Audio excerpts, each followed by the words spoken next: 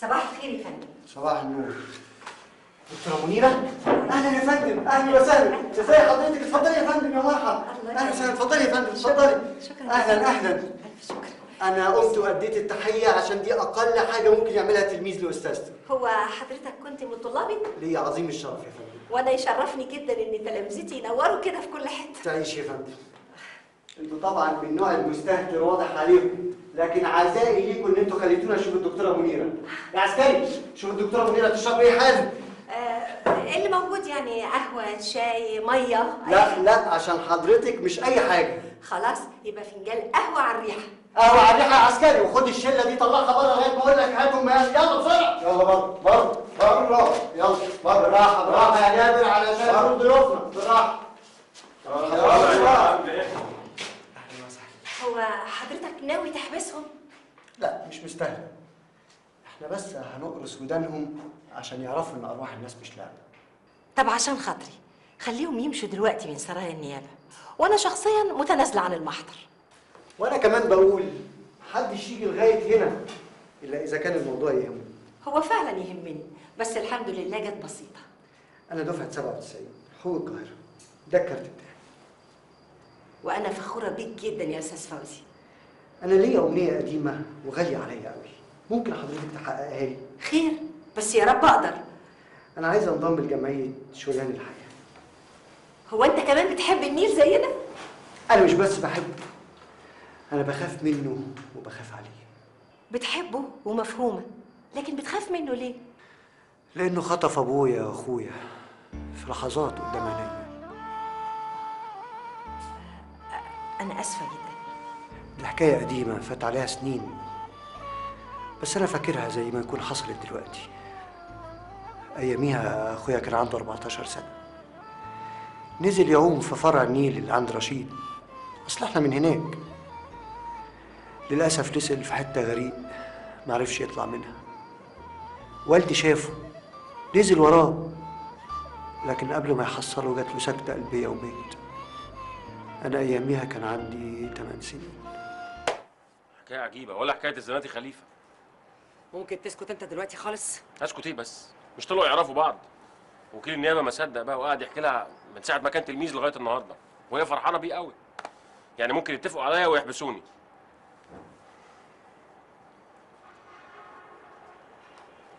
أستاذة صباح. أيوه فندم تحت أمرك؟ هي الدكتورة منيرة تعرف وكيل النيابة؟ يعني عادي. الدكتوره منيرة ياما اتخرج من تحت إيديها محامين وقضاة. يعني حاجة عادية يعني عادي. أيوه بس كده انت ما فهمتيش قصدي. لا أنا فهمت قصد حضرتك كويس. تأكدي إن دكتورة منيرة لأول مرة تشوف وكيل النيابة اللي جوه ده. وبعدين دكتورة منيرة جاية عشان تساعد ابنك مش عشان تأذيه.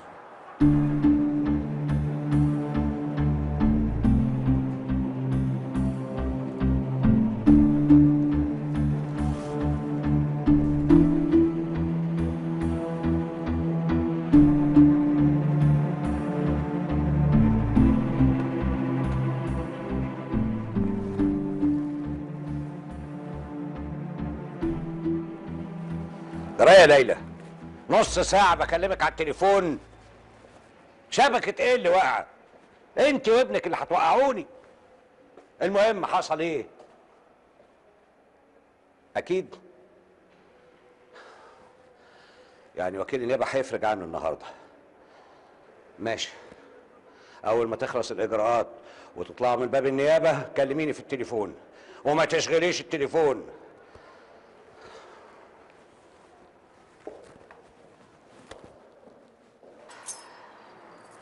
طب أنا همشي بقى همشي ولو حصل حاجة بيكلميني في التليفون. على مهلك شوية يا بوجي. كفاية اللي حصل بقى. فرصة سعيدة جدا يا أستاذة إني قابلت حضرتك النهاردة. ولو إنها ظروف مش ولا بد. ده أنا اللي سعيدة جدا بيكي يا أستاذة كوثر. بصراحة؟ كل اللي أنا سمعته مش زي اللي أنا شفته قدام عيني الدكتوره منيرة تستاهل كل خير. تسمحوا لي أنفرد بيها شوية؟ اتفضلي يا دكتوره حاضر.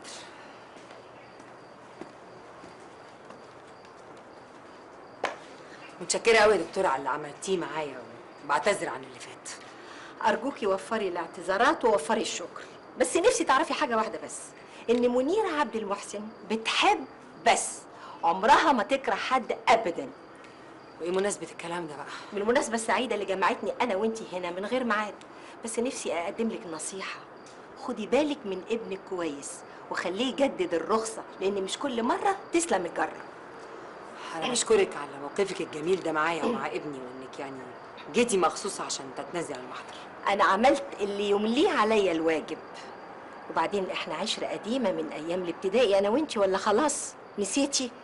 هي إيه الحكاية؟ المباحثات الثنائية لسه شغالة ولا إيه؟ ولا يمكن آه، دي فواتير قديمة بيخلصوها بينهم وبين بعض. وايه المانع من شوية عتاب بين الأحباب؟ طيب. إيه يا أنسة صباح؟ هو انتي ما بتتكلميش ليه؟ هتكلم أقول إيه؟ وبعدين أنا اتكلمت كتير لحد ما تعبت. آه. طب ممكن أسألك سؤال صغير بعد إذنك؟ آه طبعا اتفضلي. هو أنتوا لما سافرتوا اسكندرية كانت زيارة عمل ولا زيارة عائلية؟ يا ساتر رب في إيه يا ساتر. أنا بكرر شكري المره الثانية يا دكتورة أنا متشكرة قوي العفو. أنا عملت كل اللي يرضي ضميري واللي كان لازم إن أنا أعمله. أنا هستأذن دلوقتي. على الأقل علشان تلحقي بوجي زمانه مستنيكي على الطريق. okay؟ اتفضلي يا دكتورة. مع شكرا. شكرا ليكي. سلام عليكم يا جماعة. يلا يا صباح. يلا يا دكتور. يلا حبيبتي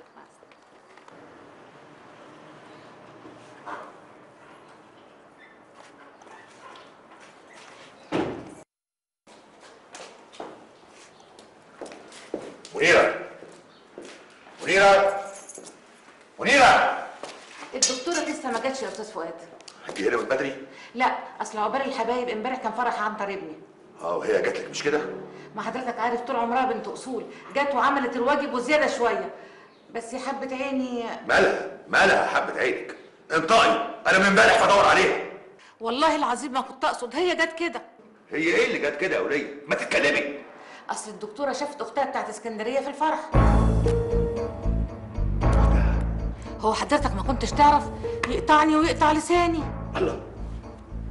طب وش معنى يعني أختها تحضر فرح ابنك انت بالذات؟ أصل كامل أخويا اسكندراني وحب يجامل عنتر ابني في فرحه ها وبعدين حصل إيه؟ أختها أول ما شافتها خدت في وشها ومشيت على اسكندرية. يعني ما حصلش بينهم وبين بعض أي كلام؟ ابدا ولا كلام ولا حديد بس فهمت. يبقى منيرة راحت وراها اسكندرية. طيب. روحي انت دلوقتي شوفي شغلك. تؤمر بأي حاجة يا بيه؟ لا لا تبقي تعملي كوباية شاي لي على المكتب. حاضر.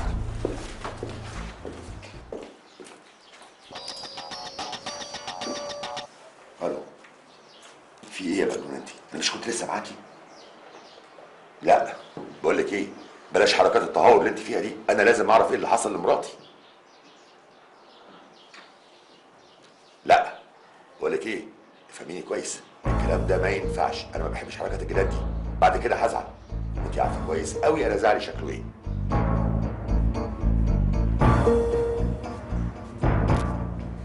الرحمن الرحيم. هو حضرتك هنا من إمتى يا دكتوره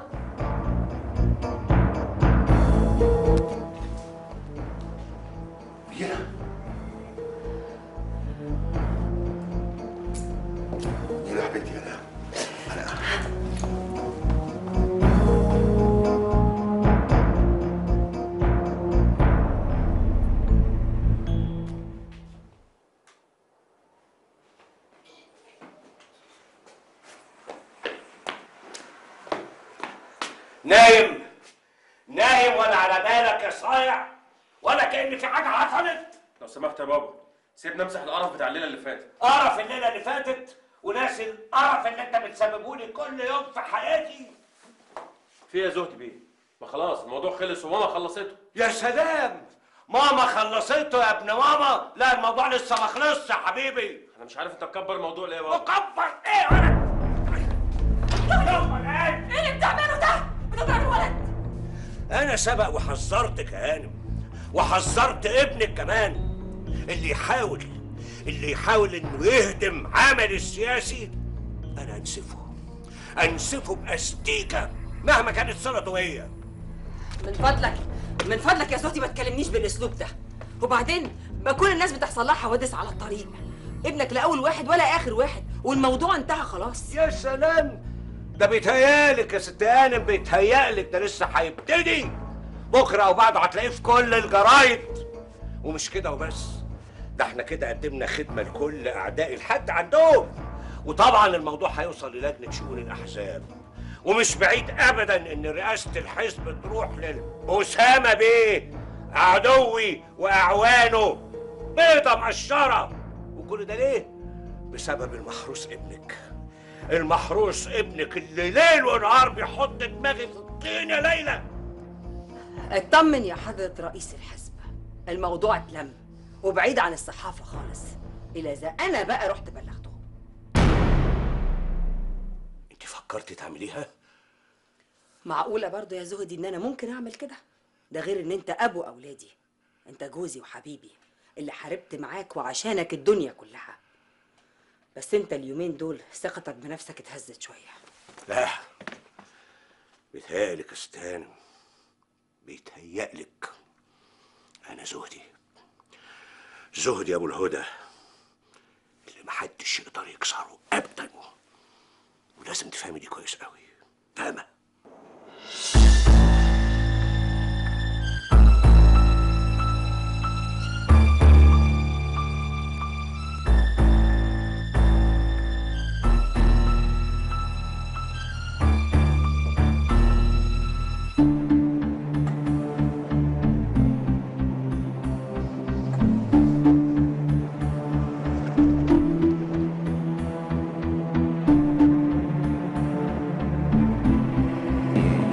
الله الذي رفع السماوات بغير عمد ترونها ثم استوى على العرش وسخر الشمس والقمر كل يجري لأجل مسمى.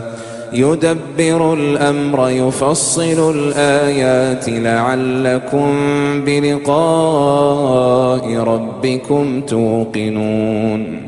وهو الذي مد الأرض وجعل فيها رواسي وأنهارا ومن كل الثمرات جعل فيها زوجين اثنين يغشي الليل النهار. إن في ذلك زهدي بيه زهدي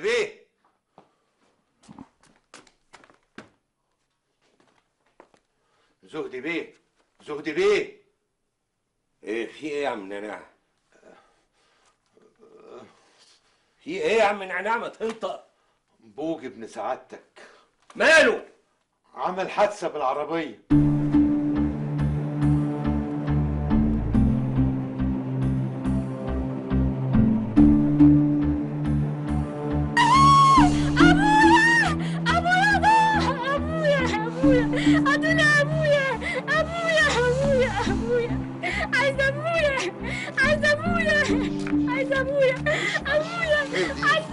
كويس يبقى كويس إن شاء الله معلش.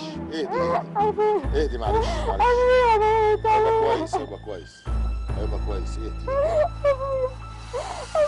اللي شفته يا سعادة الباشا إن في عربية ماشية بسرعة طالعة من الفيلا دي.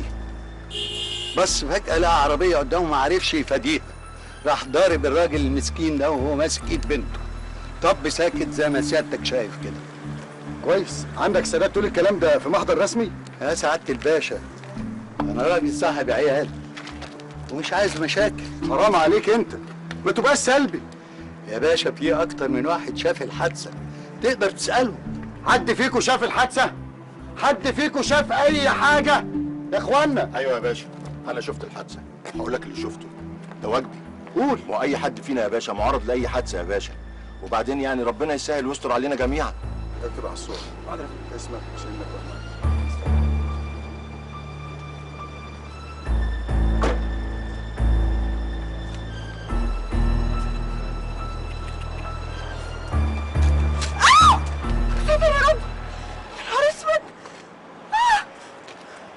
آه يعني قال لي الظابط زي ما فهمته بالظبط.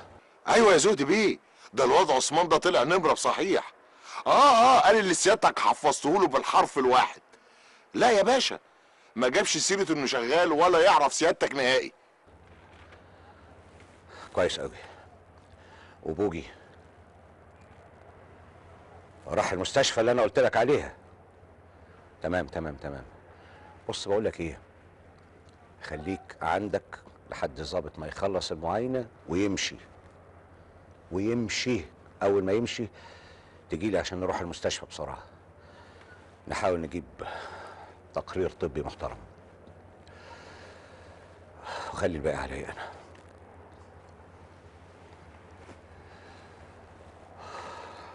آه رجلي. ادعي لي كل الدكاترة. عايز كل دكاترة الجراحه هنا دلوقتي. أنا حاسس ان أنا هموت. اطمن حضرتك اصاباتك سطحيه وبسيطه بسيطة إيه؟ أنا مش عايزك اسمعك تقولي بسيطة دي تاني. آه أنا حاسس إن أنا رجليا مكسورة وعندي نزيف داخلي. أنا حاسس إن أنا هروح فيها. طيب طيب الدكاترة هم اللي هيقولوا مش أنا طب هو فين الدكاترة دول؟ إيه مستنيين لغاية لما أموت ويجوا؟ يلا افتحوا أوضة العمليات. البنت إيه يا استهام آه طيب. خليهم يعملوا لها ليمون. حاضر. يا حبيبة قلبي يا حبيبة قلبي. منك لا يا بوجي. تعالي يا حبيبتي اقعدي تعالي. أنا عايزة أمشي. عايزة أروح مع أبويا. عايزة أشوف أبويا. يا حبيبتي أنا هعمل لك كل اللي انت عايزاه وهوصلك بعربيتي لأي حتة تحبيها. انت اسمك إيه يا حبيبتي؟ سامي طب يا سامية بقى. احكي لي كل اللي حصل بالظبط وأنا هقوم لك محامي كبير يجيب حقك انت وإخواتك. أبويا راح فين؟ بخير يا حبيبتي اطمني. اقعدي يا روحي اقعدي. قولي لي بقى يا سامية انت عندك كام أخ وأخت؟ خمسة. خمسة ومامتك؟ لا مامتي ماتت من ثلاث سنين. لا حول ولا قوة إلا بالله. معلش يا حبيبتي كلنا هنموت عايزة أمشي أشوف أبويا. قولي لي بقى انت في مدرسة؟ لا ببيع مناديل في اشارات المرور. عموما يا حبيبتي أنا عرفت كل اللي حصل في الحادثة. وهقف جنبك وهساعدك وهقوم لك محامي كبير جدا عشان يجيب لك حقك انت وإخواتك. سيبيني امشي ابويا جراله إيه؟ ولا حاجة أبوكي كويس. وأنا هوصلك عشان تطمني عليه. وبعد كده هوديكي البيت. أنا لا يمكن أسيبك يا حبيبتي وانت في الحالة دي ابدا. يلا تعالي يا حبيبتي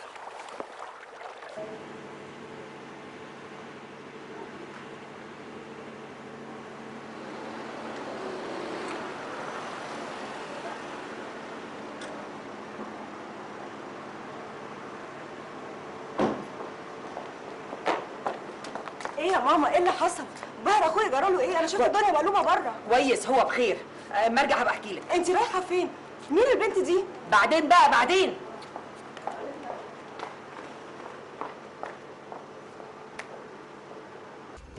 يا ست هاني انت واخدانا على فين؟ إحنا بيتنا في البساتين ومش هو ده الطريق. أنا عارفة يا حبيبتي. طيب أمال إحنا رايحين على فين؟ رايحة عشان أخد لك حقك. إزاي؟ أنا هكلم أبوكي في المستشفى دلوقتي وأطمنك عليه. حالا دقيقة واحدة هكلم الدكتور اللي في المستشفى اللي فيها باباكي.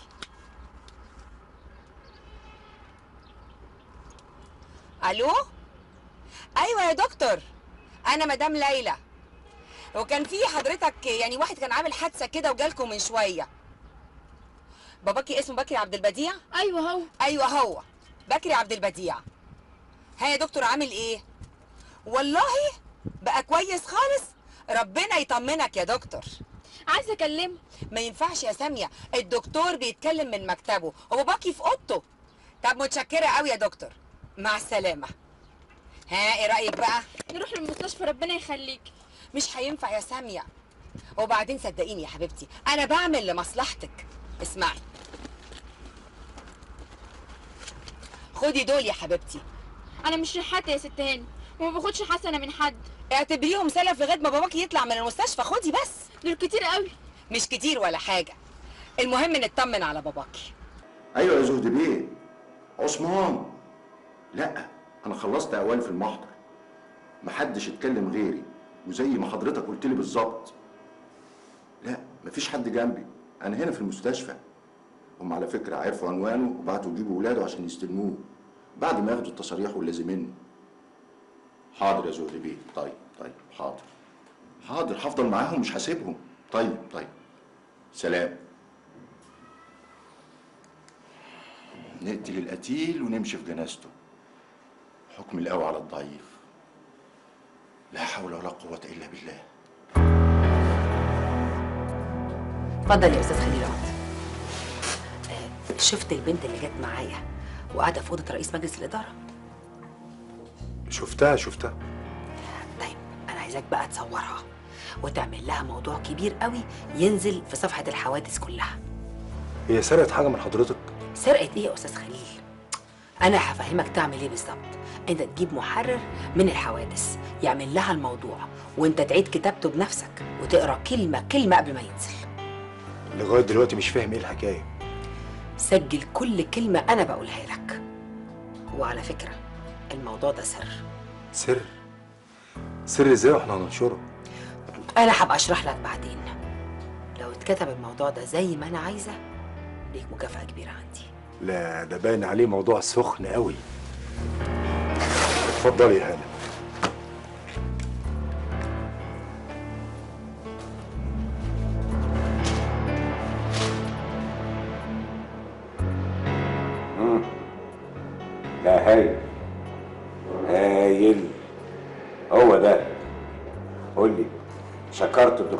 قلت لك وبيقول لي سيادتك ربنا يجعله عامل. يعني انبسط. 10000 مرة.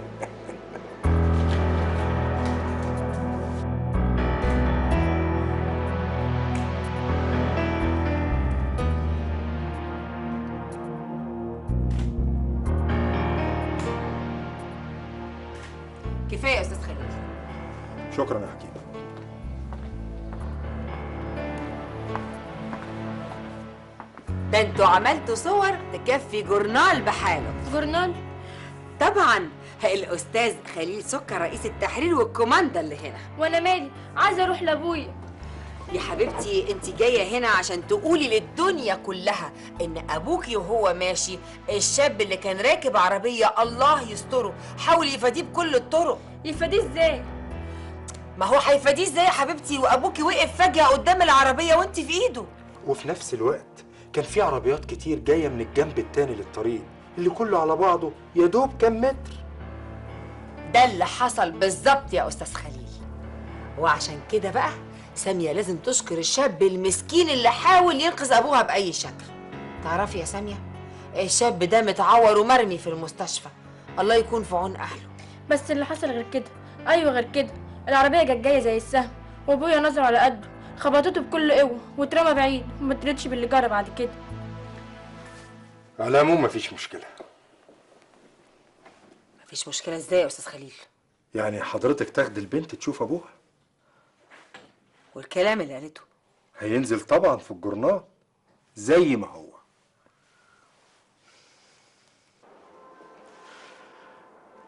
أنا عملت بهلوان. عملت سيرك. وسط الأيادي بترجى شمال ويمين عشان أخرجك من الكارثة الجديدة اللي أنت عملتها. يا رب اللي أنا عملته ده ينفع. ما تستموتش وتعمل لي التمثيليات اللي بتعملها دي. اسمعني كويس.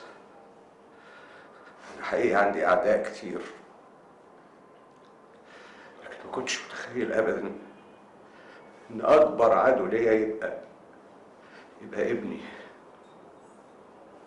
ابني اللي من لحم ودمي ابني اللي ساكن في بيتي. وتحت جلدي.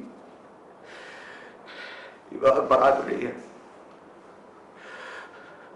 أنا ما صدقت خرجتك من المصيبة اللي أنت كنت عاملها في الطريق الصحراوي. جاي تقتلي يا واحد. أنت إيه يا أخي؟ إيه اللي بتعمله فيا ده؟ حرام عليك. الله يسامحك الله يسامحك يا نادر الله يسامحك.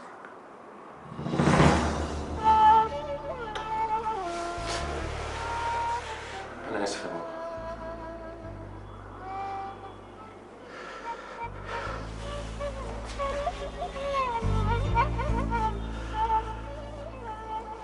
أنا هروح أجيب لك المحامي. قصادك الكلمتين اللي تقولهم لما لما النيابة تيجي تاخد أقوالك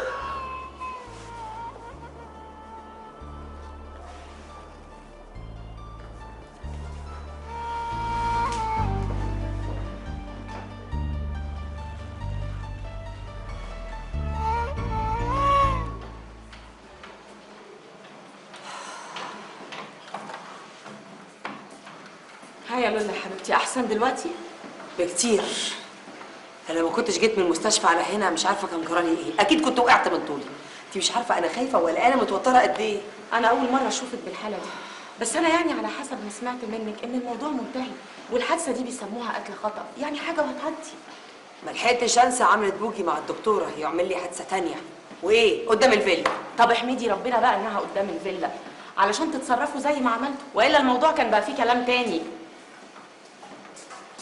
آه لولا قولي لي هي فكرة إنك تاخدي البنت الصغيرة الجورنال وتصوريها فكرتك ولا فكرة زهدي بيه؟ انت بتشكي في ذكائي ولا إيه؟ طبعا فكرتي. هايلة جدا. وطبعا الموضوع اللي هينزل في الجورنال ما فيهوش اسم. لا طبعا. هسيب الناس هي اللي تخمن. طب وزهدي بيتصرف إزاي؟ بجنون. عشان كده أنا طفشت من وشه وجيت على هنا على طول وقفلت الموبايل عشان أريح دماغي. طيب خلصي بقى تمرين علشان نخش الساونا نريح اعصابنا شوية. آه. مدام هيفاء تليفون سأل على حضرتك الأول وبعدين سألني على مدام ليلى. ما قالش مين؟ ما قالش. جرى يا أستاذ. ده وقته. ده وقته تروحي فيه جيم. جيم إيه وزفت إيه وإحنا في مصيبة يا هانم بقول لك إيه أنت تجيلي المكتب هنا فورا حالا. ما أنتش عارفة في إيه. في يا حبيبتي اللي انت عملتيه هنا في الجورنال أنا مش موافق عليه.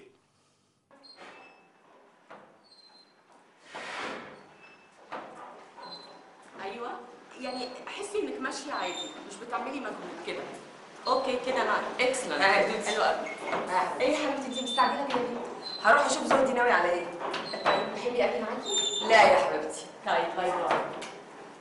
ابقي طمنيني عليكي؟ حاضر. bye يا حبيبتي. باي يلا نكمل. يلا. okay. أيوه تمام. قصة السيدة المجهولة التي أنقذت الصغيرة سامية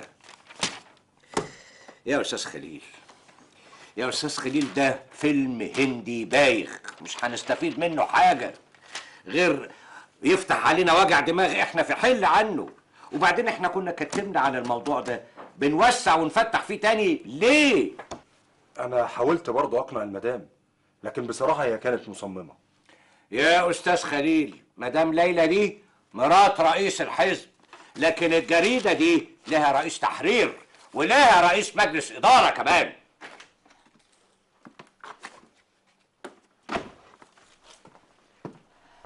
آسفة قوي يا زوجتي.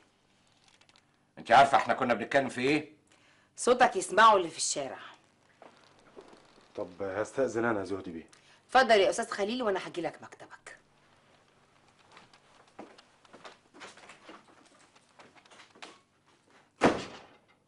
اللي انت عملتيه ده غلط يا ليلى. أنت بتكلمني كزوج وأب ابنه في محنة ولا رئيس حزب ورئيس جورنال؟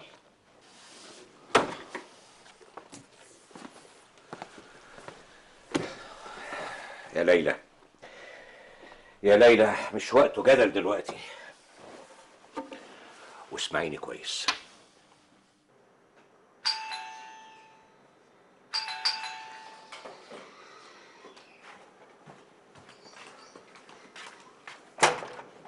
أنهار؟ خير يا أنهار. خير يا خالو اطمن. أطمن إزاي وأنت جاية من غير ميعاد ولا تليفون؟ كأنك جاية تستغيثي. مش استغاثة ولا حاجة بس خبر سمعته. وكلمتك في الجورنال قالوا لي مش موجود وعرفت إنك قاعد تشتغل في البيت. طب إحنا هنقف نتكلم على الباب كده؟ خش نتكلم جوه. تقولي من غير مقدمات وتخش في الموضوع على طول. تعالي اتفضلي. خير يا ستي. أصلي عرفت من واحد زميلي في الكلية إن بوجي أخو أنوار خبط واحد بعربيته وموته. هو ده اللي جايبك ملهوفة ومستربعة كده. ما هو طول عمره بيعمل حوادث. عموما يا ستي قولي لي بقى اتاكدتي من الخبر إزاي؟ اتصلت بأنوار ولقيت أعصابها شايطة وبتقول إنها تعبانة جدا. وبعدين وقعت بلسانها وقالت لي إن أخوها اتعور في حادثة وقفلت على كده. اللي أعرفه إن أخوها ده ولد طايش ومستهتر. وأنت فاكرة حكاية البنت اللي حاولت ترمي بلاها عليا وتشوه سمعتي قبل كده؟ كانت صاحبته. ومع ذلك يا انهار مش أنا اللي أستغل موضوع زي ده وأجري وراه عشان خاطر أنتقم؟ مش حكاية انتقام يا خالو. حكاية الراجل الغلبان اللي مات وعنده كوم لحم ومفيش أي حد يجيب له حقه. إزاي الكلام ده؟ طب ومحضر البوليس والشهود؟ بصراحة أنا مش عايزه أظلم حد لكن زهدي بيه وليلى هانم مدلعين ابنهم قوي وده هيبقى على حساب الراجل اللي راح فيها. طب وأنت عرفت المعلومات دي إزاي؟ ما أنا قلت لحضرتك من زميلي. يعني زميلك ده يا انهار شاف الحادثة من أولها وشاف محضر البوليس واللي مكتوب فيه؟ لا بس سمع من أهالي المنطقة وهم بيتكلموا. يا خالو الموضوع كبير قوي ومحدش له سيرة إلا الحادثة. لا يا أستاذة أنهار الكلام ده كله مجرد تخمين. الحقيقة دايما محتاجة لدليل وإثبات. وأنا معايا الدليل يا خالو زي ما علمتني بالظبط. دليلك إيه؟ ثانية واحدة.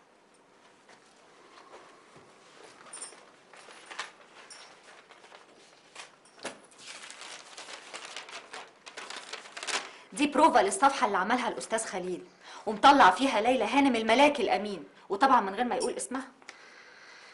طب وبنت الراجل خدوها إزاي وصوروها في الجريدة؟ الست ليلى خدتها معاها في عربيتها. طيب يبقى البنت راحت بكيفها يعني مدام ليلى ما خطفتهاش. مظبوط. قولي لي الأول أنت جبت البروفه دي إزاي؟ من واحدة زميلتي بتتدرب هناك. لا ده باين عليه موضوع كبير قوي. طب وأنت يا خالو ناوي تعمل إيه دلوقتي؟ في الموضوع مكتوب اسم المستشفى ومن المكان اللي حصلت فيه الحادثة هعرف اسم البوليس ويبقى هو ده أول الخيط. أنا بكلم سعادتك من الحارة اللي ورا بيت المرحوم. اللي مات قدام الفيلا. استغفر الله العظيم. تصريح الدفن طلع ودفناه وقفت مع عياله وجبت لهم الفراش اللي هيعمل لهم الصوان ودفعت له 3000 جنيه زي ما حضرتك طلبت. وهفضل واقف معاهم واخد العزاء بنفسي لا حضرتك ما تقلقش من أي حاجة. ده العيال مجرد ما شافوا الفلوس كانوا هيقطعوا بعض ويموتوا بعض. ماشي ماشي. مع السلامة مع السلامة. طمني يا زهدي الموضوع كده خلص؟ لا طبعا. لو أي حد نبش في المحضر هيفتحوا التحقيق من جديد. وعموما لسه لسه في نيابة وقضية. اسمع كلامي وخلي خليل ينشر الموضوع. اعقالي أنت يا ليلى. ما تستعجلينيش وخلينا نفكر كويس. لحد إمتى بقى؟ لما جورنال تاني يشم خبر بالموضوع ويكتب اللي هو عاوزه؟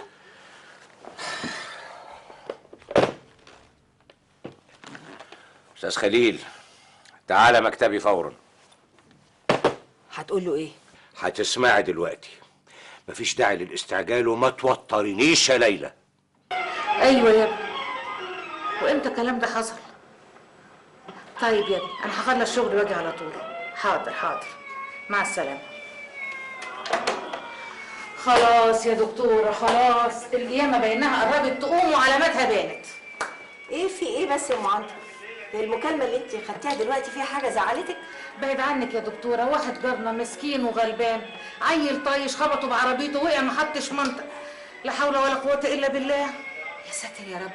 طب وما عرفوش مين اللي عمل العملة دي؟ بيقولوا ابوه من الناس الكبار قوي بتوع البيزنس ولا رجال الأعمال دول. أبصر اسمه زاهر آه، زهني. زهدي زهدي. زهدي. انت متأكدة؟ هو حضرتك تعرفيه يا دكتورة؟ إيه اللي أعرفه؟ ده أنا أعرفه كويس قوي. أنهار. أنهار. ازيك يا انهار؟ أهلا يا تيتا ازيك انتي؟ عاملة إيه؟ ازيك. بس أنا دلوقتي مش تاتا. أنا بقيت تهاني. ده إيه التغيير ده كله؟ اتفضلي. ربك قادر على كل شيء. سبحان الله. أنا مش قادرة اصدق. ولا أنا كمان. بس قبل ما احكي لك حكايتي وايه اللي عمل فيا كده عايزة اطلب منك خدمة. اتفضلي. أنا عارفة ان خالك ساب جورناله في الحزب ورجع جورناله القديم وبيقضي معظم وقته في الشغل في البيت. ياه ده انتي عارفة الأخبار كلها أهو. أنهار أنا قلبت عليكي الدنيا لحد ما لقيتك. ارجوكي وصليني بأستاذ ناصر.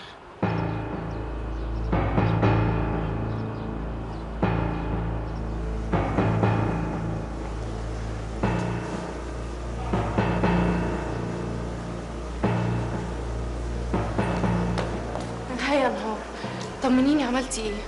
حكيت لخالي على كل حاجة. وجبتي سيرتي؟ بصراحة خفت. اعذريني يا انهار صدقيني كان نفسي أطلع معاكي واعتذر له بنفسي بس ما قدرتش. وعشان انتي صاحبة انوار لجأت لك وحكيت لك عن اللي عمله معايا الندل بوجي. طب بلاش بقى نتكلم في الموضوع ده لحسن هتزعلي مني. أنا عارفة قصدك إيه. قبل غلطة بوجي هي غلطتي. عشان كده أنا بلعتها. وبلعت لساني وراه. بس مش معناه إن هو يفضل طايح في الناس وكل يوم يعمل له عامله سودا طب قولي لي بقى أنت إيه اللي غيرك كده؟ كنت فاهمة إن الحياة شياكة ودلع وتهريج. تقدري تقولي كنت شايلة عقلي على الرف. طب وإيه اللي حصل؟ إيه اللي رجع لك عقلك قبل عقلي رجعت لي روحي.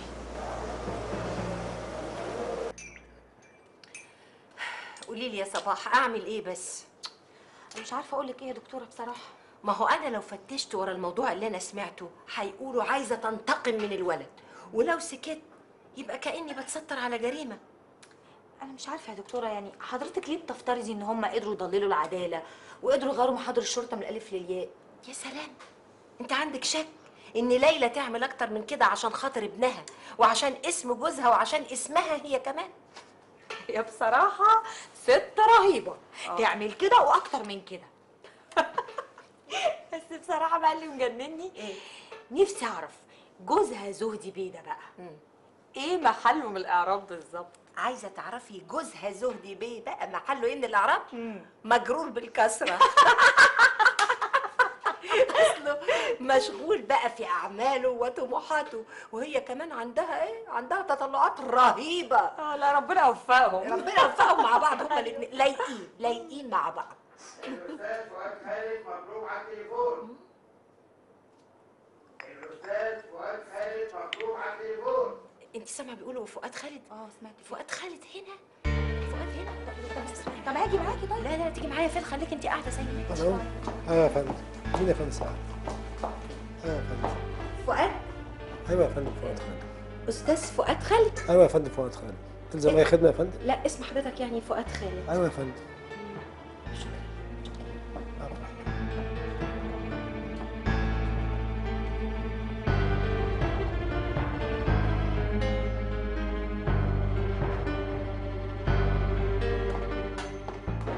قول لي بقى اقتنعت بوجهة نظري ولا لا؟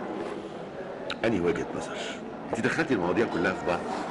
يا سلام يا فوفو. يا سلامين ثلاثة أربعة عشرة. عايز أقول لحضرتك إن سيادتك لخبطتي لي كياني خالص. وأنا عايزه أقول لحضرتك إني مش شايفة في الدنيا دي كلها حد غيرك. بس إحنا إحنا لازم نحسبها صح.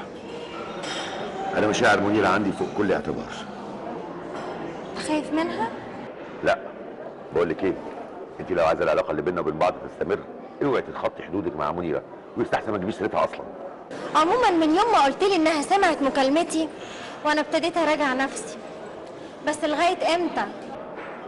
لغاية ما صالحها بالحقيقة. يعني هتقول لها بحب واحدة تانية وهتجوزها؟ لا طبعا. لكن هستنى الوقت المناسب عشان أقول لها على الحكاية دي من غير ما أجرح مشاعرها. إزاي يعني؟ معرفش. لكن أنا عارف إنها ست عاقلة وعارفة. ممكن تفهم إن الفنان مزاجه متقلب وله نزواته وقعت بلسانك وقلت إن علاقتي بيك نزوة. لا بقول لك إيه؟ إحنا مش هنبتدي الكلام ده من الأول أرجوكي. على العموم مش هنختلف على الأسامي. أنت قول نزوة وأنا أقول عشق أقول غرام ولا إيه؟ لحظة لحظة ان إحنا في مكان عام. خلي بالك. أحمد ربنا إن أنا لسه ما صورتش الفيديو كليب بتاعي لكن لو صورته مش هعرف أبقى براحتي زي دلوقتي. انت لسه برضه بتفكري في الكلام الفاضي ده؟ طبعا يا أستاذ ده مستقبلي الفني. وبعدين اللحن الجميل اللي انت عملته لازم يطلع للنور.